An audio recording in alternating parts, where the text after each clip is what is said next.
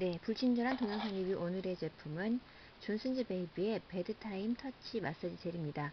어, 잠 못 드는 아기들을 위해서 만들어진 제품이고요. 우리나라 아이들이 어, 서양의 아기들보다 수면 시간이 많이 적다는 거 알고 계신가요?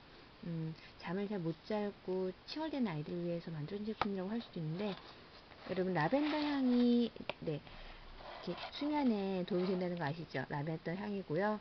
그리고 젤, 마사지 젤인데 애기 씻어주고서 이 마사지 젤로 이렇게 마사지를 해주면 애가 잠을 편히 잔대요. 이런 질감이고요.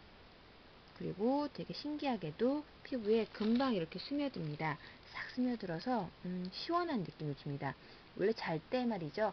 잠이 들 때는 체온이 약간 기존보다 한 2, 3도 낮은 게 훨씬 잠이 잘 온다고 해요. 그렇기 때문에 뜨거운 물로 자기 전에 샤워를 하는 건 오히려 숙면을 방해하는 거라고 하고요. 이건 애들이나 어른이나 다 똑같이 통용되는 거니까 알아두시면 좋을 것 같습니다. 아마 이게 제가 그래서 좀 잠을 못 잤던 적이 있어요. 불면증 비슷하게. 그때 이걸 썼는데 좀 효과를 봤습니다.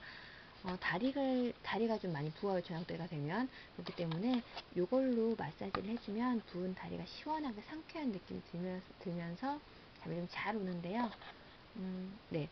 향도 뭐좀 진해서 음, 이거 애기들한테 안 좋지 않나 라고 생각할 정도로 진한 향이긴 한데 별 문제는 없다고 존슨즈 베이비사에서 얘기는 하긴 합니다. bedti, bedtime touch 마사지 젤.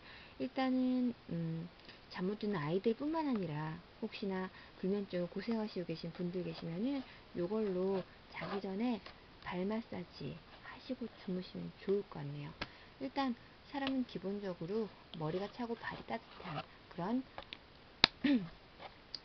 두 한 조결 그게 건강 기본이기 때문에 잘 때 수면 양말 끼 이렇게 하고 주무시는 게 좋겠지만은 잠이 잘 안 오는 것 중에 하나가 머리에 피가 너무 많이 쏠려 있어서 그런 것도 있대요.